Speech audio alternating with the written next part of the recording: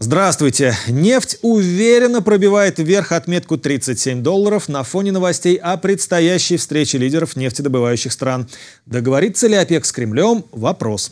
Но Ирану и Саудовской Аравии стало ясно, что сверхнизкие цены – это плохой вариант для всех. В итоге сегодня за баррель сорта Brent дают 37 долларов 26 центов, а Центробанк установил курс доллара США на 5 марта на отметке 73 рубля 18 копеек. Евро удержался от масштабного снижения, и его курс 80 рублей 11 копеек. Золото стоит 2991 рубль за грамм, серебро стоит 35 рублей 22 копейки за грамм.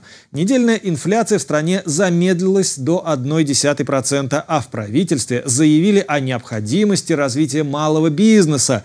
В который раз уже заявляют – Милые наши женщины, с наступающим вас праздником! Здоровья, красоты и финансового благополучия! На сегодня это все. Удачи в делах!